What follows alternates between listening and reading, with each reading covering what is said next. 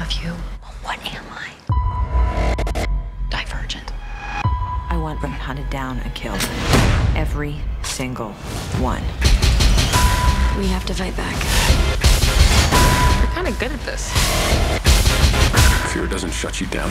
That's what makes you dangerous. Finish it.